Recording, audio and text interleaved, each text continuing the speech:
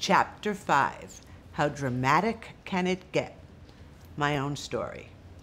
I was perfectly healthy, in great shape. As a matter of fact, what started out as a simple rash was actually a rare autoimmune disease. It went misdiagnosed and continued advancing, so that in short order it destroyed all of my well honed dancer's muscles. For three months, I had visited the dermatologist complaining of itching on my fingers, back, eyelids, and shins. No blood tests were taken, which likely would have offered a proper diagnosis. I then went from being superwoman to needing a walker and 105 pounds to 200 pounds within two weeks before my body just gave out and shut down. I was rushed to the hospital and within hours was on life support for days while they figured out what was wrong with me. My illness had come on so fast that there wasn't time to prepare for anything. I do remember being taken to the hospital, and then I have no memory of my 11 year old daughter, my family and friends, just nothing. The disease I had is called dermatomyositis. The only thing that would keep me alive was a new heart, because the disease had destroyed mine. In what seems like a miracle, the transplant team at Cedars-Sinai Medical Center decided to give me a chance and put me on the list. They knew it was a long shot that I might live. In fact, they never truly believed I would li live long enough to get a new heart, much less live through the ordeal or ever walk again. It was a total experiment. At this time, I really, really must give a very special thank you to my donor family.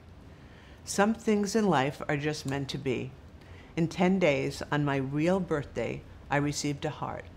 For weeks, I lay in an induced coma. The first time I opened my eyes and heard I'd had a new heart, I thought they were joking.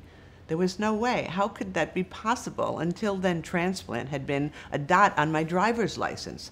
I'd never really thought about it. I had certainly never actually considered the idea of someone's death giving me life causing grief and happiness in the very second that it occurs. I thought I'd had a dream and that I was underwater and given the heart of a shark, and that someone was trying to kidnap my daughter. But a real transplant? Not possible. Not me. At some point in the hospital post surgery, I could not move at all. I was trapped in my own body. A childhood fear realized. Truly, as a dancer, that was my greatest fear I used to have nightmares about it, being unable to move. I was truly ready to let go. In the midst of my coma, I had felt as though I was sitting in the middle of these huge, huge palms. I was sure they belonged to God, but I couldn't leave my child behind, nor did I want to survive if it meant being unable to play with her.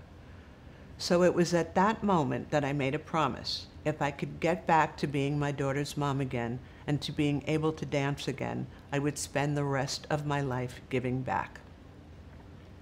In a series of events that can truly only be described as miracles, I have started a 501c3 nonprofit called Ava's Heart to help transplant patients and their families deal with the non-insurance related aspects of transplant. As you can see, my story was quite dramatic. Many are.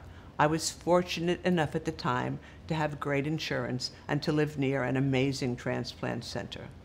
I left the hospital in four months in a wheelchair, my money embezzled by business partners, newly divorced and almost broke. But I had my child and I had my life.